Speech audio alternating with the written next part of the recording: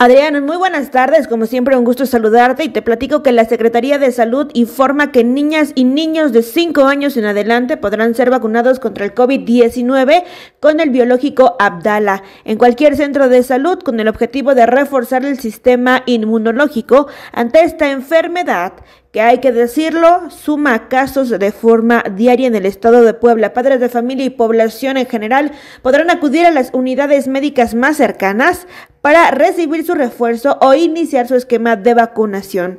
El biológico disponible, como ya lo comentamos, es el Abdala y también el Sputnik para los grupos de edad que son mujeres embarazadas y en puerperio, mayores de 18 años, así como personas de 60 años y personal de salud, quienes al menos tengan 12 meses de haber recibido la última dosis. Además, se ha dado a conocer la importancia de acudir y solicitar la vacuna contra el COVID-19 y es que esta acción previene complicaciones por esta enfermedad, además de que es una medida de prevención al contagio del COVID-19.